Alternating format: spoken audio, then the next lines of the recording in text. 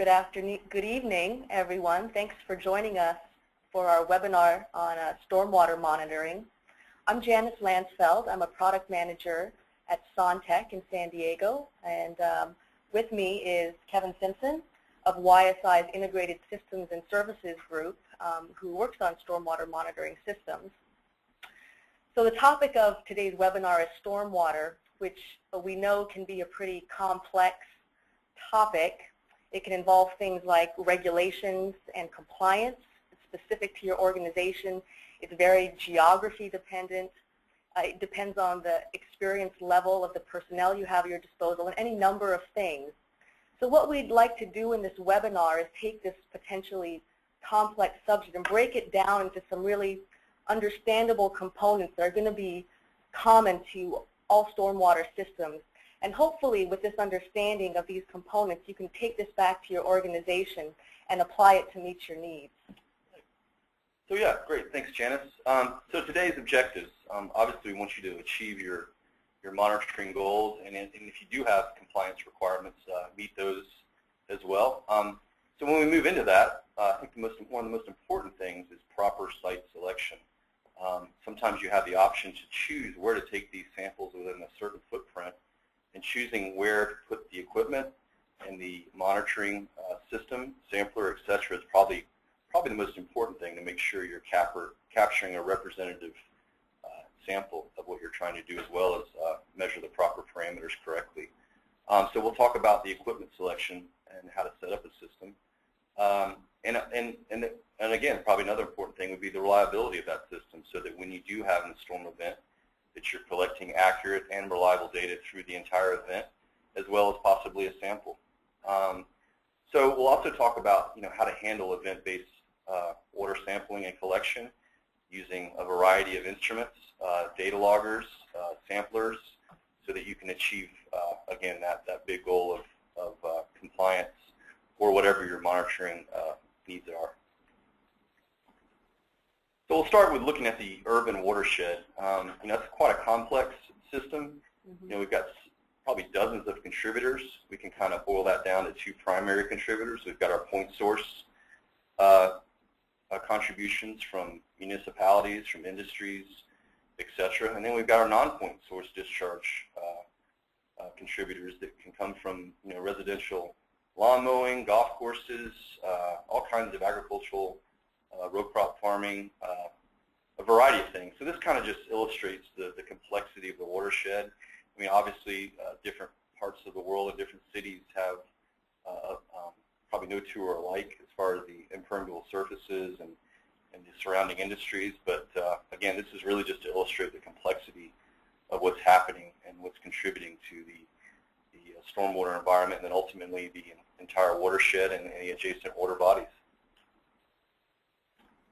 Um, so yeah, again, the applications, uh, you know, industrial applications would include, uh, you know, manufacturing facilities, transportation facilities, um, and, and, in that, you know, you typically look at a common parameter or a common thing to sample for would be metals or anything that's in the manufacturing process that might uh, might hopefully uh, hopefully not uh, induce itself into the, uh, the stormwater system. So there's a lot of compliance and regulations surrounding the industrial, call it discharge of the stormwater into the uh, exit of the, of the perimeter of the property. Mm -hmm. Perhaps pH as well. Absolutely, pH would be a big one, and even possibly conductivity when you're looking at no conductivity for hydrocarbon type medium, etc. Um, and then municipal, a lot of organizations have not only water and wastewater facilities, but also in a stormwater department where they're looking at their entire county or city from a, a sort of holistic stormwater program. So they're oftentimes involved in, in uh, monitoring as well as sampling. Um, and there might, might be parameters such as uh, pathogens or nutrients. Nutrients is probably one of the biggest things that influences our, our uh, stormwater and the adjacent water bodies to that. Um, oxygen? Oxygen would be a, a, great surrogate to look at that. Um, and construction is another application. In construction, we're usually looking at um, after you unearth the land, whether you're building a new highway or excavating uh, a bridge possibly, etc., you're disturbing sort of the natural environment and especially the sediment. So typically in a major construction project and even some minor uh, construction projects, you'll put up barriers to contain that sediment. Um, and we want to ensure that those barriers are working properly and we're inducing none or the minimal amount of uh, additional sediment into those water bodies during a storm event. Um, and then research. Research is another application that's not necessarily compliance driven or regulatory driven, but we're really trying to un understand baselines and targets Mhm. um, like Right. TMDLs and uh, eutrophication and all kinds of things that the watershed uh, uh, can produce. Um, so yeah, research would be the universities. You could probably even throw some of the environmental consulting firms when they get involved in projects that aren't directly related to regulatory. So those are the applications. Mhm. Um, this is just a sort of a garden variety remote monitoring site. It kind of en encompasses a lots of things, but I wouldn't say that it's uncommon, but certainly a, a you know quite a, an elaborate one that uh, would cover the whole the whole gamut of, of Mhm. what we're looking at. First, rain. Rainfall is probably you know the biggest indicator of a of a stormwater or potential stormwater event, um, and we use a tipping bucket rain gauge um, in this example. Uh, level, as you can see down the bottom of the screen, uh, can be measured several different ways, but level and rainfall correlate very well, and we'll talk about that a little more in the presentation. Whenever you have a significant rain event, there's typically a lag time between when you have a, a, a level rise. Um, so that's kind of what we're looking at, is that first big runoff and how to capture some good data during that. Uh, the water quality sonde, uh, you know, YSI's been making water quality instruments for 60 years. Um, and these platforms uh, lend itself to a variety of sensors and, and parameters to monitor. Um, in this particular example, we're looking at turbidity, uh, dissolved oxygen pH, conductivity, uh, temperature, and, uh, and as well as chlorophyll. Um, and then a flow meter. You know, the hydrology uh, dynamics of, of, of stormwater are, are extremely significant, especially in, in smaller open channels and how they contribute to the larger bigger picture of the model. Um, so measuring flow and understanding those flow characteristics is a big part of stormwater monitoring. In this example, we've got a SonTek side-looking acoustic Doppler profiler. Um, and then bringing all this together into a data acquisition system so that we can not only record the data, but also do logic based on that data. And, uh, and at that point, we can um, uh, look at even sampling. So in order to have the power reserve we need to accomplish all this and to make sure that we're ready for a storm event and then transmit that data successfully, we also include typically a solar power system, especially in these remote uh, outdoor applications. And again, this data acquisition system is going to talk directly to an automated water sampler, and that water sampler can be a, a portable, non-refrigerated or refrigerated. And then again, lastly, we telemeterize that data through a variety of, of cellular options, uh, GOES satellite options, um, and then some of the more established alert systems and uh, uh, private uh, licensed UHF, VHF networks. And even SCADA systems, we have the ability to tie to those, those as well, Right. using protocols like uh, Modbus, et cetera. I think a nice thing that this picture illustrates is that these are the basic components, and we realize that there's no one-size-fits-all. So your your solution could include all of these or just a couple of these, but um, based on your needs and your sites, um, Yeah, that's correct. these, Yeah. these are highly modular. Scalable. It's completely Yeah. scalable. In other words, this data acquisition system is extremely affordable, and you may only be looking at, at rain or level, and then being triggering samples on that. And then you can have the uh, additional sensors later as your program expands. So the consistency and, the, and sort of the standardization behind that lends itself to all kinds of versatilities from multiple manufacturers of sensors and samplers, et cetera. This is just a, a- another uh, project example. It's actually the, the site that we just saw that was uh, animated. This is the, the real version of this project. There's about 28 of these sites in central Florida. And what we're looking at here is, uh, is a big contributor upstream uh, to the TMDL uh, targets and cycle. So upstream of this, uh, actually this particular site is Orange County or the city of Orlando and Disney World. So we've got golf courses, a ton of non-permeable surface, and uh, this particular location is at the headwaters of the Everglades. So understanding the TMDL, TMDL inflow into your, your uh, specific network or, or your footprint, then understanding the outflow. So in order to establish a good target, you really have to understand what you're beginning with before it even enters into your system. So that you can make to ensure that what's uh, exiting the system is, is optimal. Mhm. That's kind of what we're working on here. But again, you see the this is just a, a, what we call a cabin or a shed that we house everything in. We've got the solar panel atop there. Behind that is the tipping bucket rain gauge. Inside the cabin there is the, uh, is the refrigerated sampler, the data acquisition system. Um, we've got our level sensor. In this case, it's a shaft encoder, and you can't see the in situ devices, but we actually have the YSI multi-parameter uh, water quality sonde as well as the SonTek SL measuring open channel flow in this canal.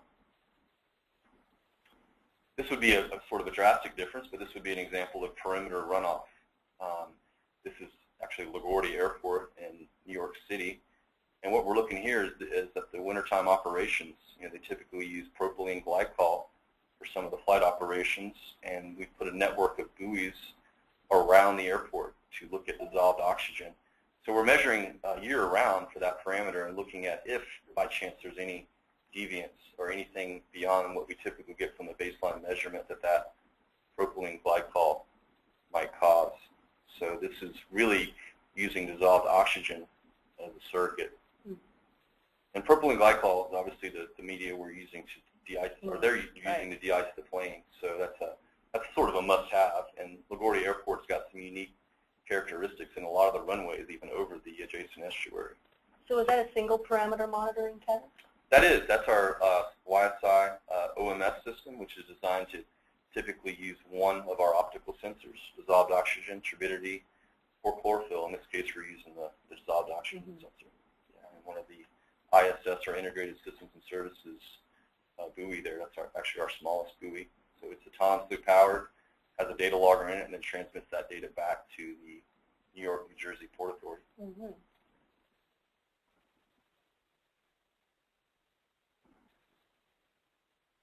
Next, we've got uh, just monitoring in general. And we're looking at uh, typically, again, first and foremost, rainfall and precipitation intensity. So you might have rainfall uh, in, in, a totalized formation, uh, formation, or you know, might look at the intensity. In other words, how much rain you have over a certain time. So typically, you know, looking at intensity is probably the most important thing because some rainfall events are very light in nature. Right. And they might last a long time, but you don't get that big deluge off of the watershed. And that's typically what a lot of the regulators want to look at. Right. And then you have water level. Um, and then the rate of change of water level, and we talked a little bit about that earlier. Um, whenever you do have that significant rain event, there's going to be a rate, rate of change over a level. And the lag time between that can vary based on your site and your watershed. It can be from minutes to hours to even days. Um, so understanding your, your site selection and understanding that historical baseline data you get from monitoring can help help those targets and thresholds be determined. And then water quality. We're going to talk about, uh, again, those applications where turbidity, pH, and, and, parameters like dissolved oxygen are important and how to measure those properly. Um, and then the hydrology component, flow and open channels, which is probably the most challenging full applications there are because the dynamics and, design, and uh, inherent designs around natural open channels, and then non-full pipes that you would typically see in the, in the stormwater arena.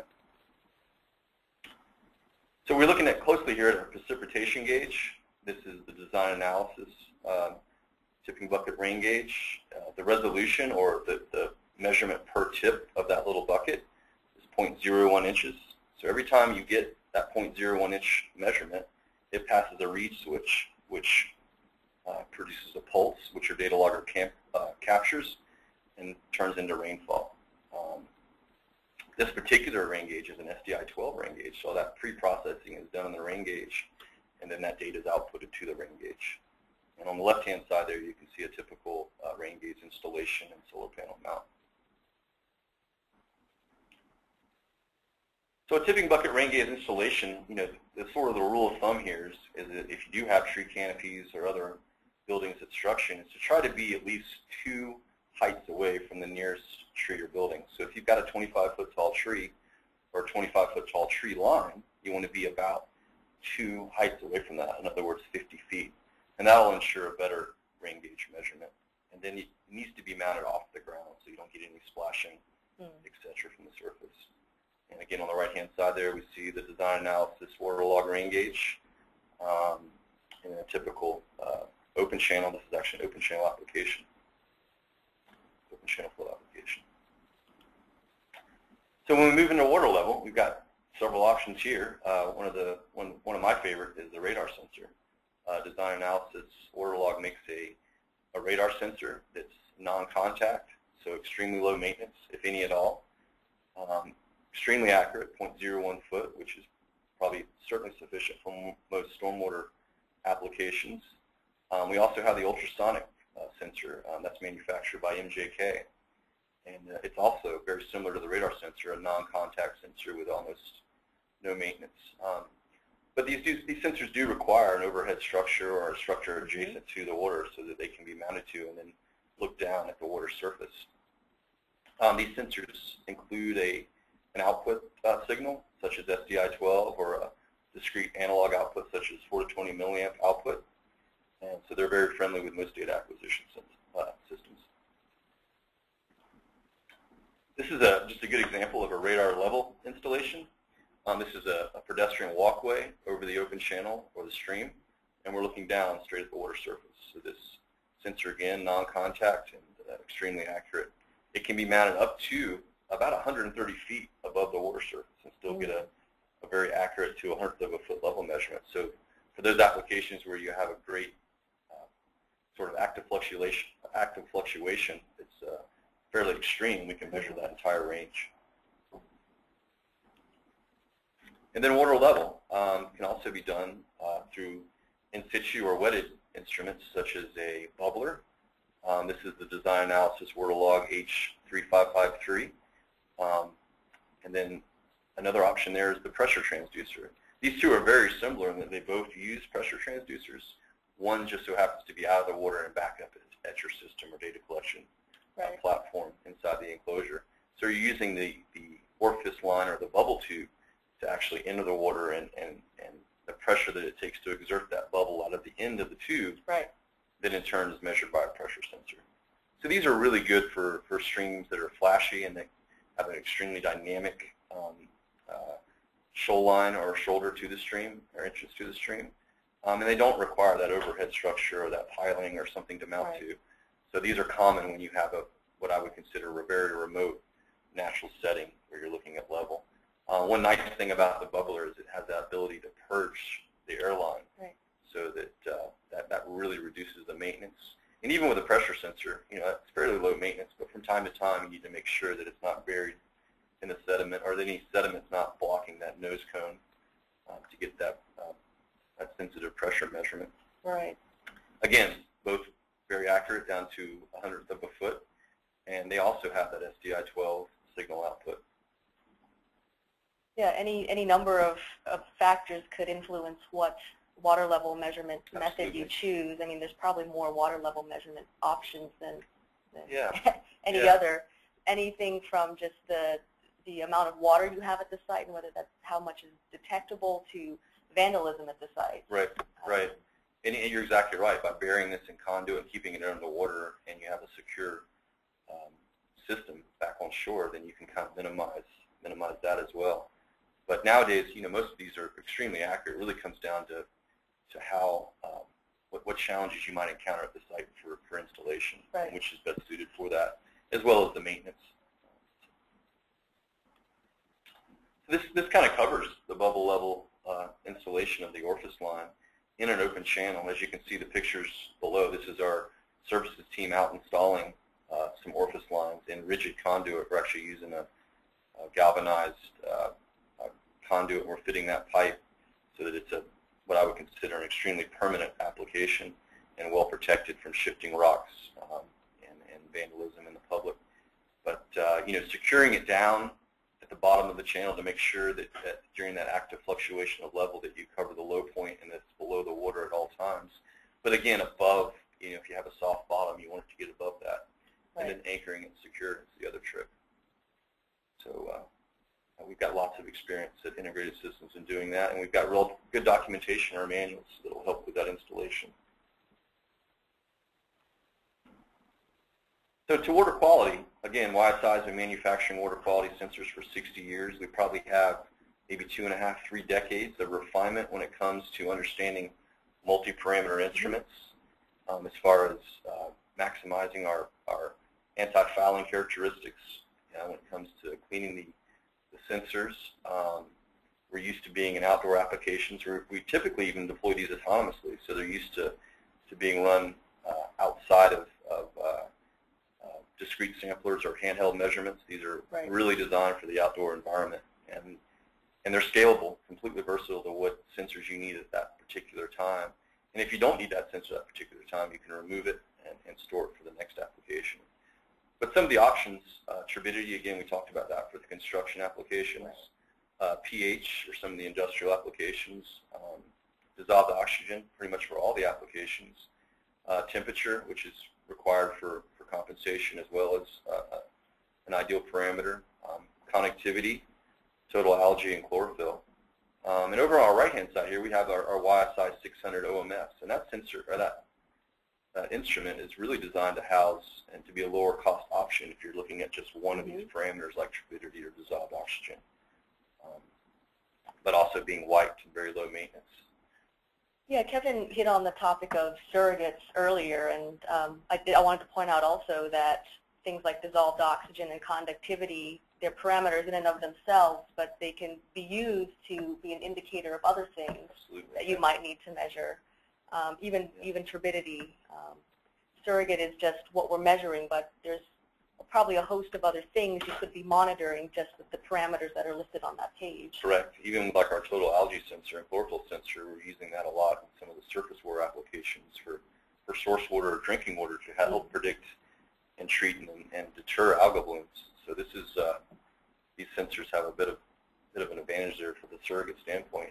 Right. And then again, you know, the basic parameters like dissolved oxygen, temperature, conductivity, and pH are used to just understand the general health of the, the water before and after storm events. hmm So uh, that, that's the whole purpose behind the water quality uh, multi-parameter instrument. And one more thing about the EXOs um, that, just- particularly for stormwater monitoring, monitoring, which I wanted to hit on, is that they're probably the most rugged sonde out there. Absolutely. Um, yeah. Full titanium bodies on those sensors. They're welded at the factory. Um, extremely corrosion resistant. Many anti-fouling and corrosion resistant materials go into the, the EXO, which make it an ideal stormwater Absolutely. um, instrument. It's just very rugged. and the output protocols of these are very friendly with other data acquisition sy- systems and samplers. So this is, again, this is sort of where we get into the not one size fits all. That's right. These are just some examples of installing a water quality sonde in a stormwater application. On the left-hand side, this is actually in North Carolina and some of the uh, small tributaries and streams that surround that, that watershed and those headwaters. And this is uh, actually a project um, several years back when they were building a bypass around the city of Charlotte. So they're looking at turbidity here primarily as well as some of those baseline parameters like dissolved oxygen, conductivity, and temperature but they're using that turbidity measurement to make sure or to ensure that those contractors that are doing the, the road constructions and, and that their barriers are doing their job. That if, if they do get breached, that they can come back and repair those barriers so that that sediment uh, doesn't contaminate the water any more than it has to. So in these applications, you might go from something like 20 NTUs, which is a unit we use for turbidity measurement, suspended solids, up to several thousand, you know, um, because of that muddy, silty type of soil we have um, in that area. And on the right-hand side, um, this is uh, in Brooklyn, um, in this uh, in, in New York City. We've got several of these sites surrounding the entire uh, metropolitan area. So when you have that many people, you know, I think what is it, five or six million people now in the city, um, maybe more. Um, those, uh, you know, that that's a that's a big contributor to stormwater. The non-permeable surfaces, traffic, the indus- industry, et cetera, is all coming into that that small little watershed, the East River, the Hudson River, and eventually out to, to Long Island Sound. But we're looking at water quality parameters there too, as well as upstream and downstream of that uh, metropolitan area, and reporting that data back uh, to that particular organization. And again, this is just ways of securing this on. Um, you can see one's more of a natural environment, and the the one on the right there, we've got luxury of, of, a, of a concrete dock and piling that we can secure the instrument Yeah, to. quite a luxury, huh? Yes, quite a luxury. Another example, um, this is a, another airport example. This is a, a marine base in North Carolina where they're looking at uh, the discharge off of, uh, again, a sort of a complex tarmac and all the different estuaries around that. As you can see on the upper left there, that's a, that's a that, that airport is, is directly correlated or directly adjacent to uh, an estuary as well as a river, the Neuse River. So um, we, we put out these sites. There's, um, I think, about eight of them, and they're looking at, the, again, the whole gamut. As you can see on the upper right-hand picture here, we've got the rain gauge. We've got our, our enclosure or cabinet that's housing the, the, the automated sampler as well as the data acquisition system. And then underneath here, um, you can see the pipes. We've got the the YSI ExoSonde, uh, the suction line for the sampler, and then we even have the uh, SonTek open channel flow meter, the uh, SonTek IQ, mounted in the culvert here, measuring open channel flow. And this data is being reported back to their environmental offices. So yeah, I think Janice here is going to talk about open channel flow and the challenges that, that are inherent yeah. to that. Yeah. Um, what we wanted to do is be, because open channel flow is sort of like the final, the sort of the last puzzle piece, and as Kevin mentioned, sometimes it's, it's the most challenging piece in the stormwater monitoring setup. We wanted to take um, a, a, little bit more time to explain the different methods at, at your disposal because perhaps more so in stormwater than in, in other natural situations, there's just a wide variety of of possible sites. So here you have a concrete line, but you could have a natural um, environment, just like the slide Kevin showed a, a, couple slides ago. There's what looks like it's sort of a deep water port um, situation down to sort of a muddy stream. Um, so there's many different uh, situations you could be in, and there are different ways of measuring flow in those situations. So we're going to take a minute and go over some different, different methods so the first one here on the left, probably the simplest um, as far as instrumentation goes when you're measuring flow is to just measure level. So um, Kevin hit on some of these instruments earlier. It could be radar, it could be ultrasonic, it could be a pressure transducer, just anything that measures water level. And when you combine that water level with, say, a flume or a weir and a, an empirical uh, coefficient, you can calculate the flow. But really, um, what I would like to show here is that in the overall picture of things, remember what's going on. You're, you're in the field measuring water level. You're, you're measuring one piece here. The flow is, of course, occurring in the middle of the channel. You could have fast flow in the middle. You could have slower flow. You could have eddies up to the side or whatever. This is what you're measuring. You're measuring water level and we're calculating flow. So um, sort of the next step up, so to speak, is if you're, you're measuring the level, but you're also measuring near the surface uh, velocity measurement. And there are methods to do that using radar or laser. Uh, some of them even penetrate a little bit, but still fundamentally what you're doing with ra um, radars and lasers is measuring a near surface velocity and using that as somewhat representative of the rest of the flow going on in the whole channel.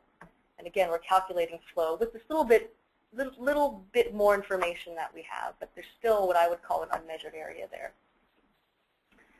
So next, um, what you might want to consider is um, Doppler instruments.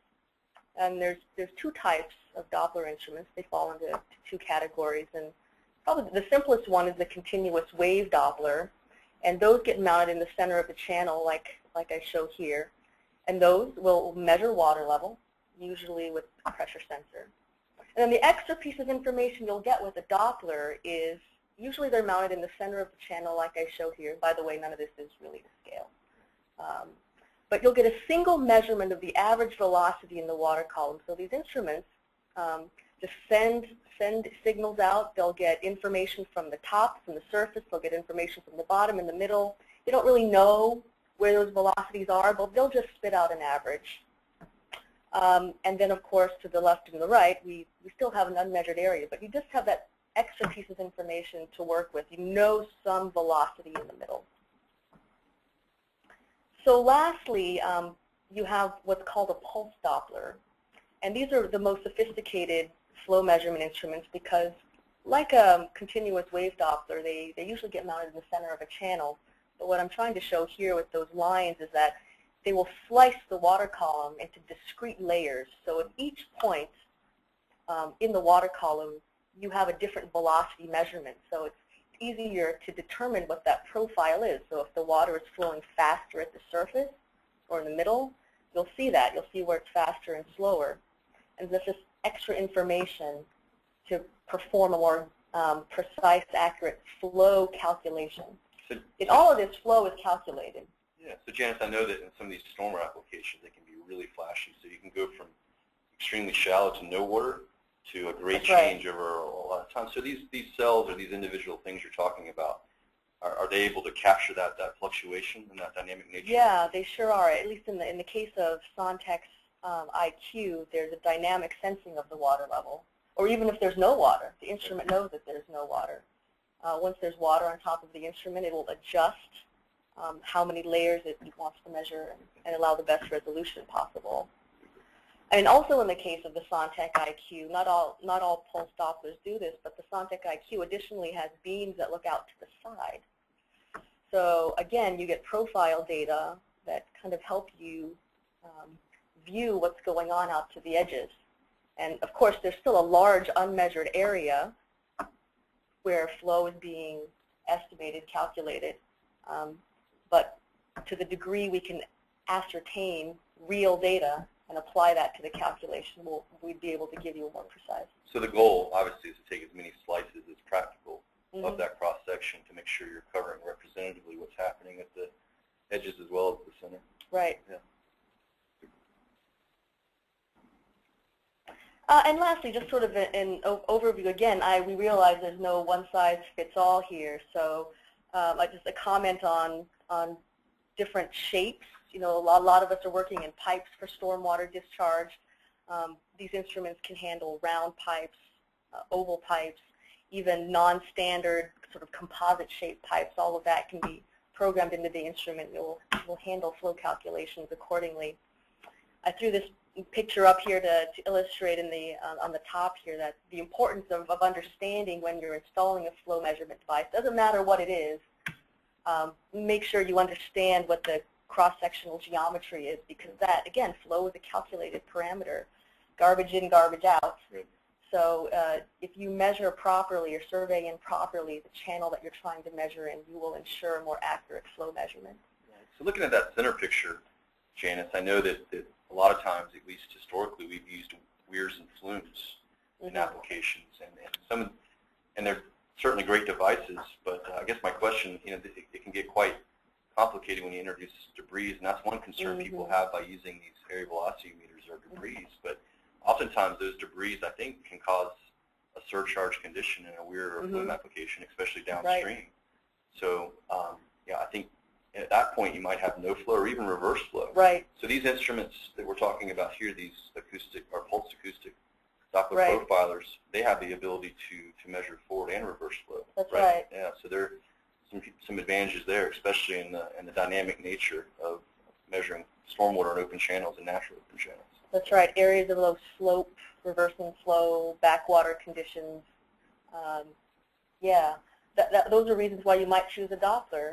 I, I, if you have a weir structure and it's functioning, if it's well maintained, um, maybe you want to use that. Um, again, no one size fits all, but these are the um, the capabilities we we can offer.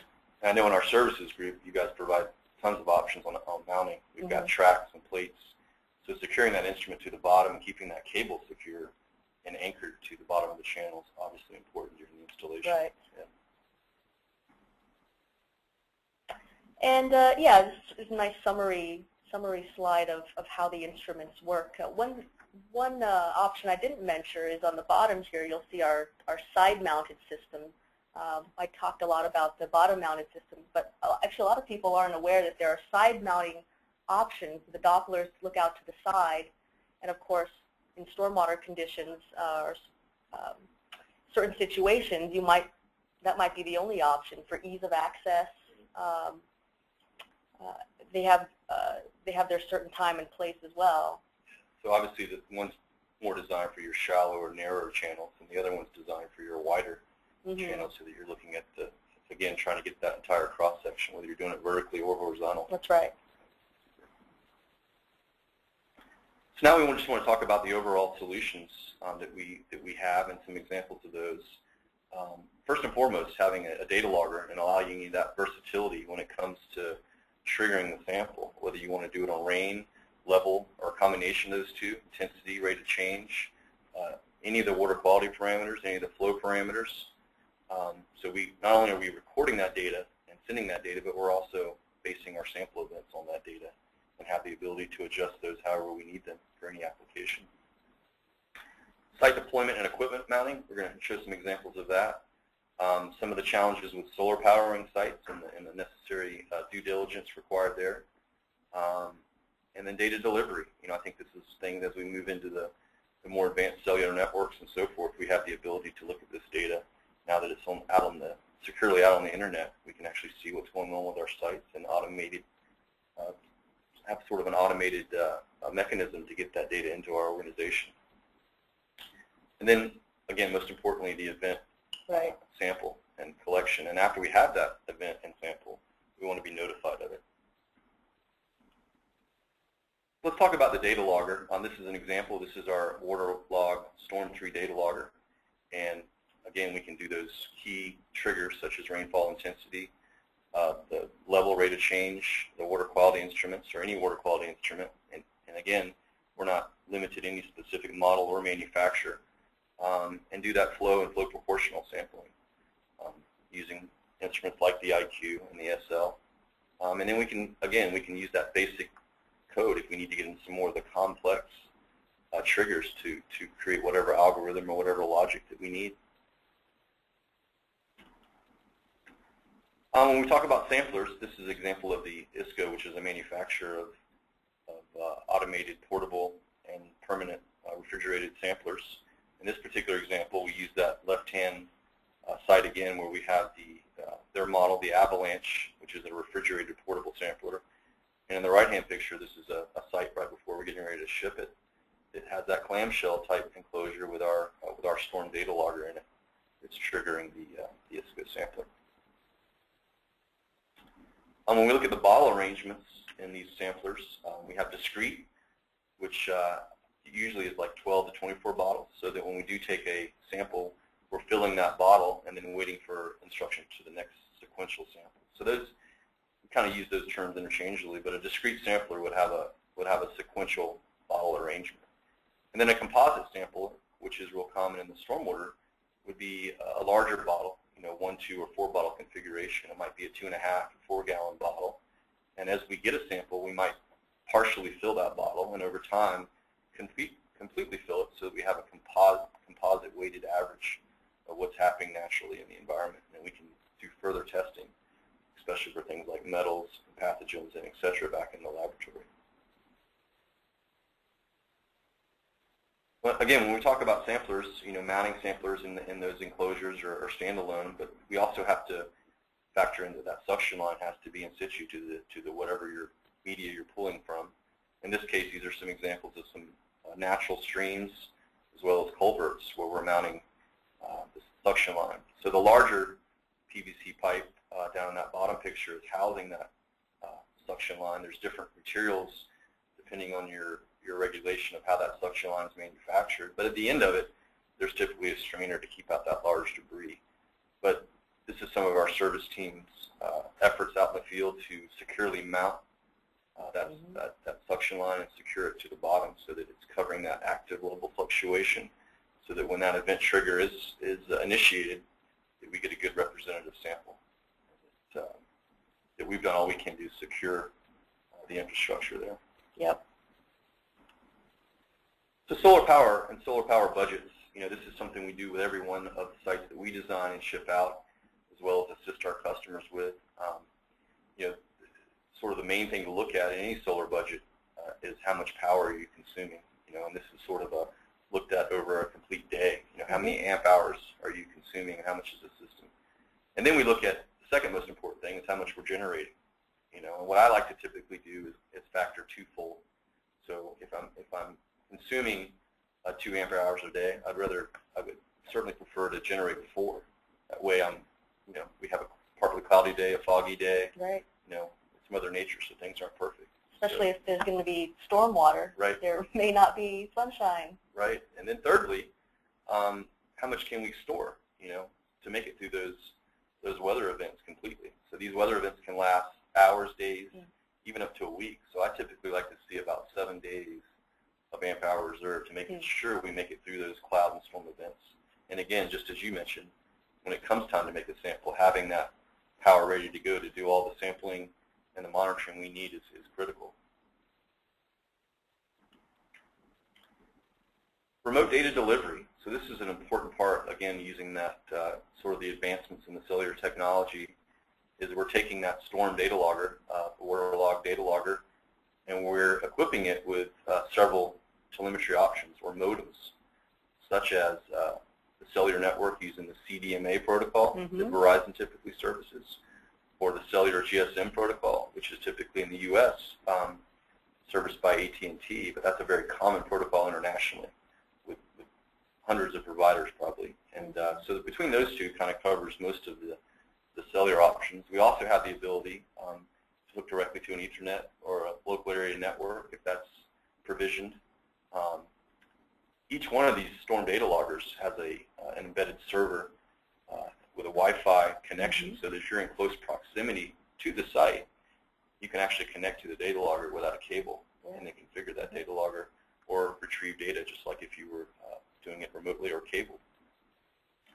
And then design analysis, you know, not only are they primarily a level company, um, they have actually more GOES modems installed in the world than Right. anybody else, over 5,000. So we can we can utilize that GOES uh, telemetry technology that's provided by the government uh, to move data.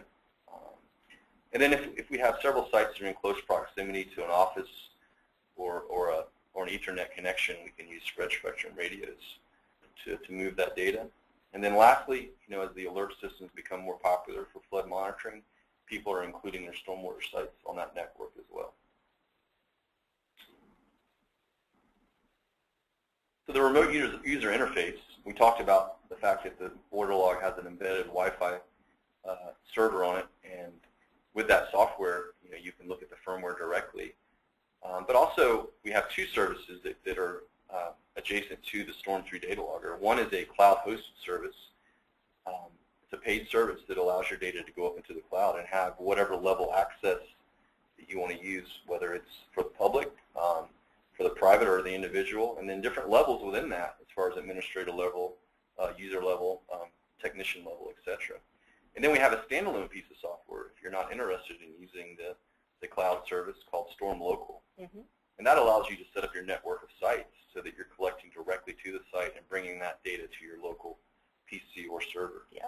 Yeah, and all these options uh, have sort of an automated process where you can bring in the data. For instance, the Storm Central has an FTP um, site where that data is converted into an XML Right. file so that you can pull it into your organization's database.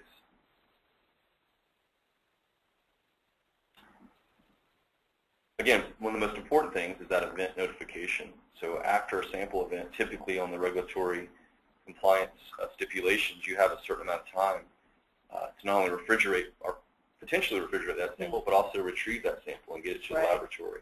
So we want to be notified that an event has occurred. And uh, within the Storm software, whether you're connected through the Wi-Fi or through the internet or through the cell network, we can set up these alarm uh, thresholds um, so that once uh, a certain rainfall event, we can even be notified that events beginning and then being notified that the sample's been taken. Sure. So we can kind of have a heads up to what's happening in our site. Uh, another thing I did mention in the earlier slide, a nice thing about having that remote umbilical or connection is that we can make sure our site's diagnostics are nominal and, and, and operating properly. So then we do have a storm event, we've got ample power and that all the sensors and instruments are working properly. On the right-hand side, we just show some examples of data display. You know, when you go to these, uh, especially the Storm Central website, and you want to look at data, it can be done in a in a graphical form using line graphs, or you can generate reports. And again, that's either with the Storm Local being a closed system to the to the organization, or if, the ventures to put it out on the cloud. But again, that cloud can be scalable to being a private uh, hosted uh, Right. system or through the through the public access, depending Yeah. access depending on your preferences. these are just some more deployment solutions. Um, upper left-hand corner there is, again, one of our platforms that our services group built for our customer. And on that is, a, is the, sort of the typical site that we've already illustrated several times in the presentation. The right-hand side is a bit smaller, but still housing that ISCO sampler, the data collection system and acquisition system. You can see the solar panel there to the right. And then in between those two is the housings for the water quality sensor Right. and the sampler suction line. Um, lower hand corner there is uh, some portable options we have. This was goes back to that New York City uh, example where we're looking at water quality and some meteorological parameters. Hmm. You know, meteorological is one other thing that can influence uh, uh, uh, water quality and, and be tied to stormwater as well. Not just meteorological uh, rain gauges, but also wind speed, wind direction, Sure. and how that affects the, uh, the estuaries, right? And the right-hand uh, example there, uh, right-hand bottom, is a platform we built in South Carolina. That's a that's a pretty elaborate platform. It's designed to get the technician out to the very end there so that he can service the level instruments. Um, we're also doing water quality and then delivering that data as well through the data logger and the telemetry system. Um, again, these are some portable systems. The unique thing about this system is that we designed it to be submersible, believe it or not. This, this was uh, a design requirement after uh, Superstorm Sandy in the New York City area. So these sites are utilizing some of our buoy technology, um, some of our submersible canisters that we typically put on oceanographic buoys, um, so that the data acquisition system is contained in a submersible housing. So if we have a storm surge that covers this box, everything continues to record. Um, we do have to wait until the, the storm surge resides in order to telemetrize that data to have a cell signal, but even the antenna itself is submersible. This is a sort of a specialty application um, we did for a customer in New York.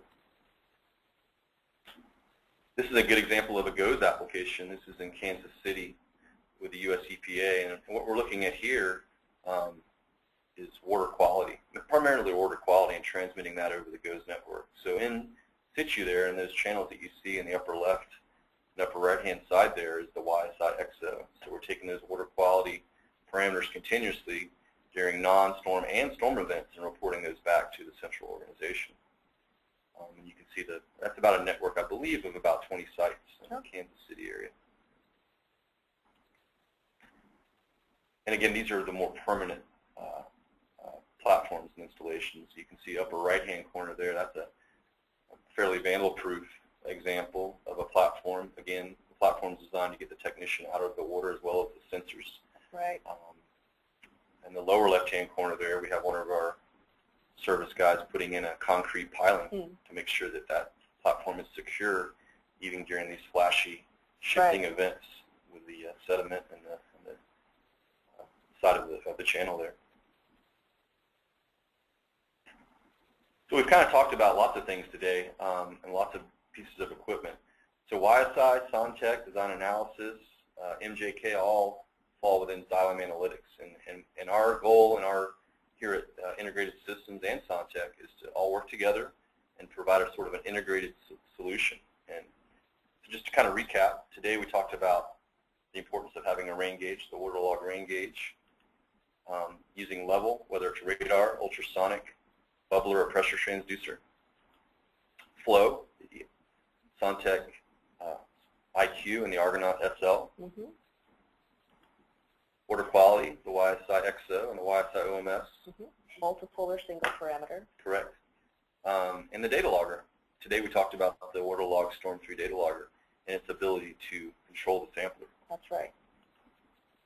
And then the sampler, the portable, non-refrigerated and refrigerated samplers. And then finally the telemetry option there will notify you that you've had a sample or that you have a certain threshold or alarm within your stormwater program. It might be a turbidity alarm if you have a construction project. Mm-hmm. but all that going back to your user interface. So this is the entire Xylem integrated stormwater solution options. And again, these are all scalable um, with, with multiple options on the sensor methods and technology. Yeah. Yeah. So Xylem Analytics is a much larger entity than just YSI, SonTek, uh, WaterLog, and MJK. It covers the entire um, water cycle and the water transport cycle. Mm-hmm.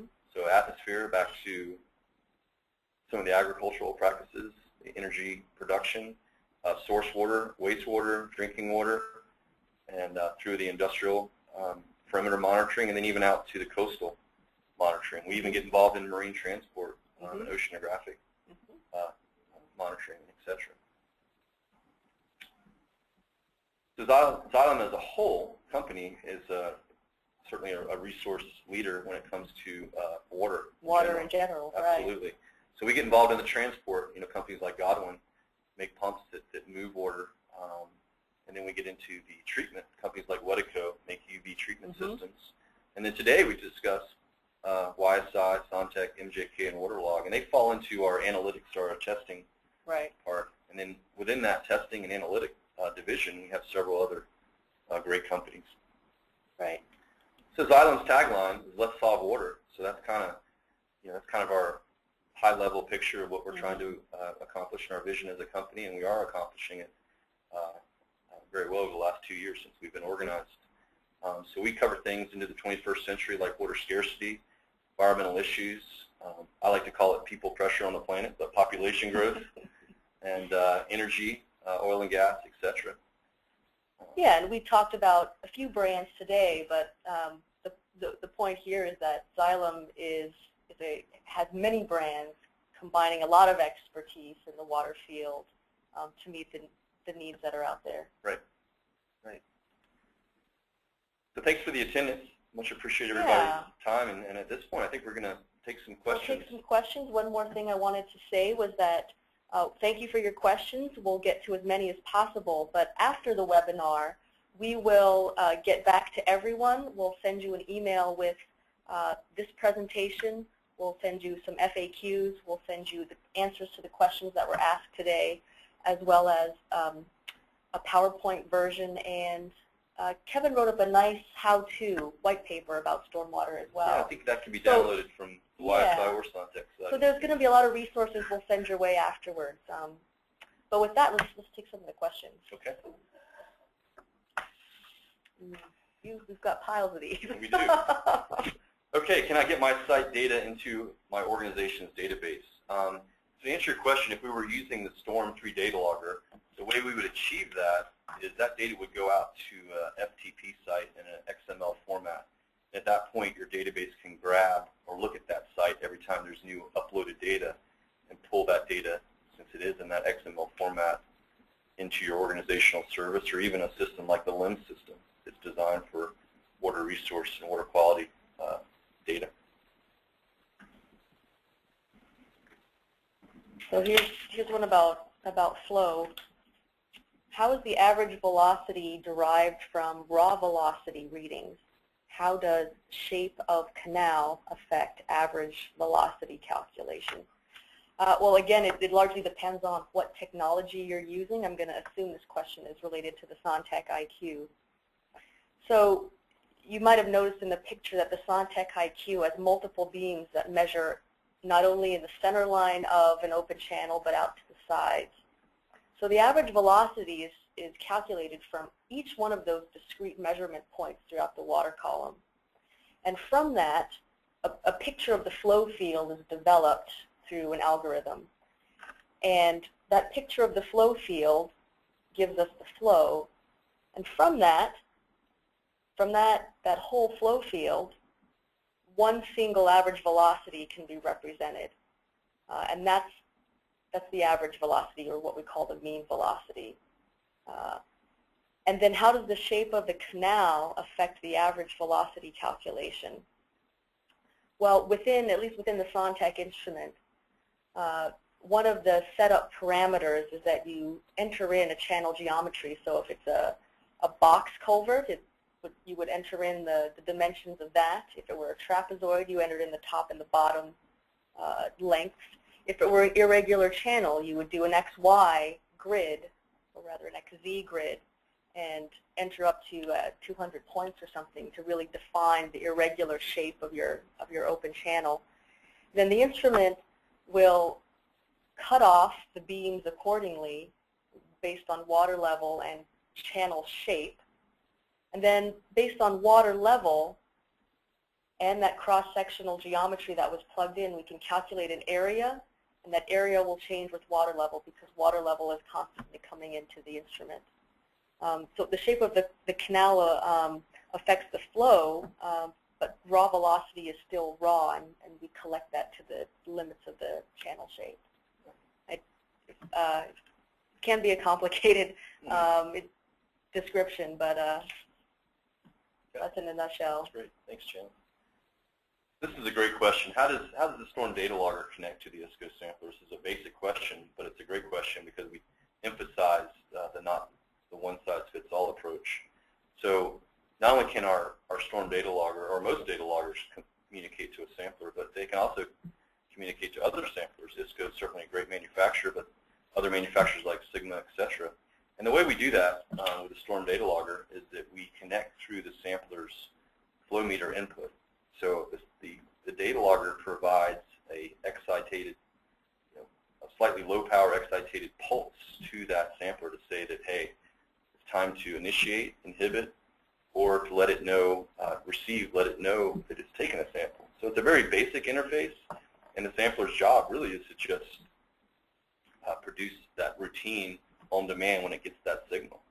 So it's, uh, it's, it's a relatively simple interface, and, and again, we can use multiple data loggers or samplers to, to, to be the controller or the sort of the, the logic device behind our sample triggers.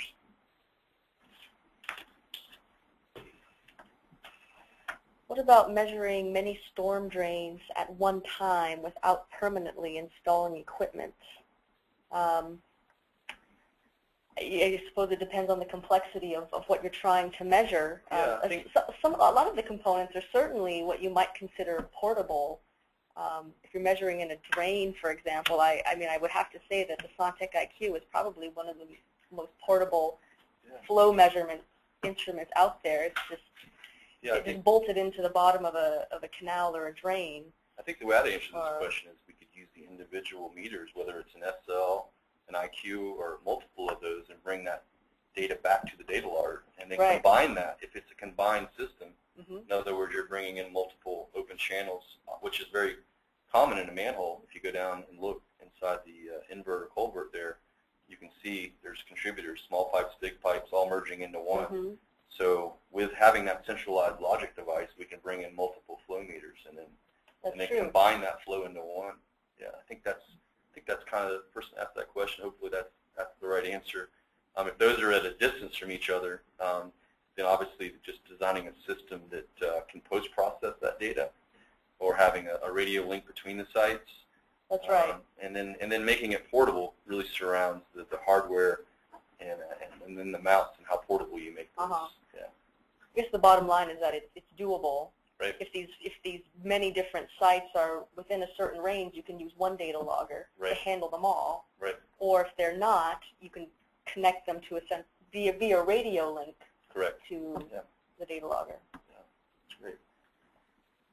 Another good question. If I get an inch of rain in 15 minutes, how can I make sure I'm sampling at the right time after a big event? Well, I think at, at, this point what you want to look at, and this is specific to each individual's watershed, is you want to look at some baseline data, uh, possibly before you set up your sampler. So you want to look at how rainfall intensity not only affects level, but um, what, what the lag time is between those two events. So you might have half an inch of rain in 15 minutes, but you may not have a six-inch level rise That's right. for two hours. Mm -hmm. And again, you know, uh, most of these regulators and most of these people are trying to get that first um, sort of flushing of the system, uh, right. not, not, too early, not too late. Mm -hmm. So looking at that baseline data and monitoring over time uh, can better help you with those thresholds and targets. That's right. Yeah. And one thing people often don't know either is flow, for example, can be a, a much earlier predictor of a level rise right. um, than or an indicator of an event earlier than the actual level itself. Right, right. Okay, looks like um, getting the signal, we have time for two more questions. Okay. What is the minimum velocity level or discharge for the IQ pipe? Can it be used for low discharge and dry weather? Um, well, um, we can take each one of these separately. Velocity, that's, that's actually the biggest advantage of a pulse Doppler is that there is no minimum measurable velocity. Um, it can measure forward velocities. It can measure no velocities. Should you should be reporting zero flow if there's no velocity, or even reverse. So um, I wouldn't say that there's a minimum measurable. Um, uh, the minimum level, the instrument needs about 8 centimeters or 3 inches of water on top of it. So depending on where you mount it in the channel or the pipe, you need about 3 inches of water on top of that for it to, to operate. And then discharge, similar to the way that there's no real minimum measurable velocity, um, there's really no minimum discharge except that you need, of course, you need a certain level. Uh, and there, uh, there's a recommendation of a pipe diameter of at least 18 inches. Uh, just so based on those entering arguments, um, there, there might be a minimum based on those, but but not as not as such. And certainly, like I mentioned, it it can be installed in dry weather. The instrument knows whether or not it's in it's in water, and it actually goes into a low um, low uh, sampling state uh, until water is detected, and there's no damage that's done if they're out of water.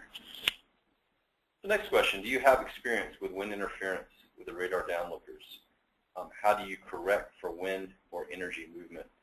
Um, I, I, personally have never had any issues with wind interference. Um, you know, one nice thing about the radar sensor is, is uh, typically when you're, when you're mounting over a structure, there is the potential for permanent interference, uh, I-beams, uh, uh wood, uh, lumber, uh, if you're working on, a, like, for instance, a, a railroad trestle.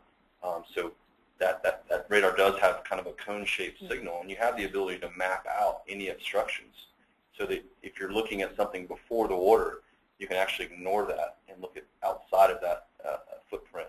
Mhm. Um, the radar sensors inherently, though, come from a really uh, mission-critical uh, background. You know, they're used in, Mm. in tanker ships and in real challenging environments because of their uh, advantages in not having too much interference uh, Mhm. unless you've got something solid or, or liquid in front of it, um, and, and a pretty, pretty dense at that. You know, historically with some maybe some of the ultrasonic sensors in the past, this has been a while ago, there'd be some challenges with steam and fog and et cetera, but the radar sensor is certainly strong enough to pound through that and recognize if it's bouncing off of, of water or a Mhm. solid object. And again, if you're if you do have a solid object, that can be mapped out.